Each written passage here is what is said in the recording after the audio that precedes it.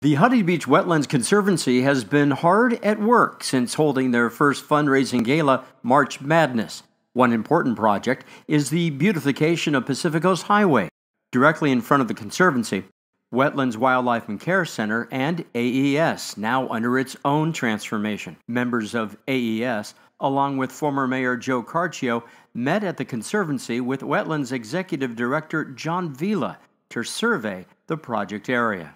The main things that we need right now are the plot plans. We can clearly identify where the areas separate from the property that the Conservancy owns, what the city is responsible for, and also what Caltrans owns out here.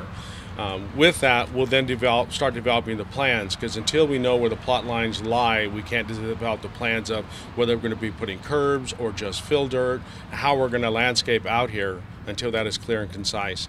Then we need to develop the plans working closely with AES, our partner on this project, who's actually going to be doing the funding for this project, um, to lay out everything, including irrigation. So there's a number of things that have to take place relatively quickly so we can make sure that we keep the momentum going, not only with the city of Huntington Beach, but also more importantly with Caltrans. Well, Travis Hopkins, uh, being the public work director, was really um, uh, instrumental in getting Caltrans to come to the table so that we could move forward with this. AES continues to support the Wildlife Conservancy with any projects and beautification that they have planned, and this is uh, uh, an ongoing project since 2012 when we were trying to help the, see this to the finish line. Just look at what's out there and you know that the improvement needs to be done.